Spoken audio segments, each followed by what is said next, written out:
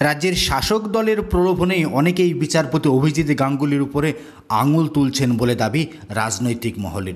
সেই জায়গায় যখন রাজ্যের অন্যতম বিচারপতি অভিজিৎ গাঙ্গুলির গোটা রাজ্যের সাধারণ মানুষ যখন তার পাশে রয়েছেন, সাধারণ মানুষই যখন অভিজিৎ গাঙ্গুলির একমাত্র ভরসা, অভিজিৎ গাঙ্গুলিকে সাধারণ মানুষ প্রতিনিয়ত যেমন আশীর্বাদ করছেন তেমনই তার পিছনে লাগিয়ে রাখা হয়েছে রাজ্যের একাধিক ব্যক্তিকে।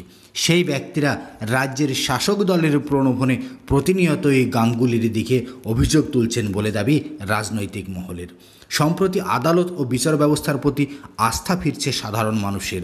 একমাত্র বিচারপতি অভিজিৎ গঙ্গোপাধ্যায়ের মতন মানুষকে দেখেই। আর তার কৃতিত্ব অনেকাংশেই পাচ্ছেন কলকাতা হাইকোর্টের ওই বিচারপতি অভিজিৎ গাঙ্গুলি। এমনটাই মনে করছে সাংসদ তথা আইনজীবী বিকাশ রঞ্জন ভট্টাচার্য।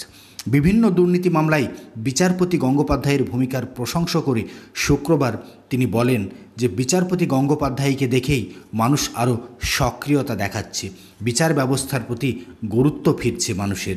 বিকাশবাবু আরও বলেন, বিচারপতি অভিজিৎ গঙ্গোপাধ্যায়ের কৃতিত্বই প্রথমেই। তিনি প্রথম বলটা বাউন্ডারির লাইনে পাঠিয়েছেন। এখন সবাই বুঝতে পারছে এই বলটা বাউন্ডারি করা যায় এবং বিচারপতিরা দেখলেন এই রকম দুর্নীতি পশ্চিমবঙ্গে ইতিপূর্বে কেউ কল্পনা করতে পারতেন না।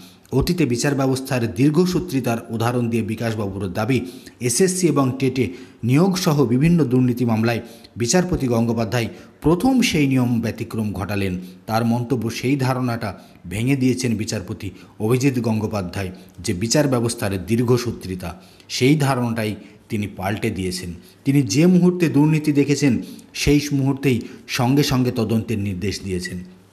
এসএসসি এবং টেট দুর্নীতি মামলায় আইনি পদক্ষেপের ক্ষেত্রে বিচার বিভাগের এই সক্রিয় ভূমিকায় নিজের তেমন কোনো কৃতিত্ব নই বলে মনে করেন বিকাশ। তিনি বলেন, প্রাথমিকভাবে এই কৃতিত্ব যাদের, তারা মেধা থাকা সত্ত্বেও চাকরি পাননি এবং নিয়োগে দুর্নীতি হয়েছে বুঝতে পারার পরে সাহস করে এই বিষয়ে আদালতে গিয়েছেন। সেই বঞ্চিত চাকরি প্রার্থীদের জন্য আদালতের যে জুনিয়র আইনজীবীরা বহু সময় ব্যয় করে বহু শ্রম দিয়ে মামলার ক্ষেত্র প্রস্তুত করছেন, তাদেরও কৃতিত্ব দিলেন বিকাশবাবু।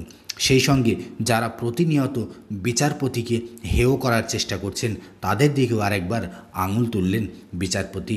তাদের দিকেও একবার আঙুল তুললেন আইনজীবী বিকাশ রঞ্জন ভট্টাচার্য।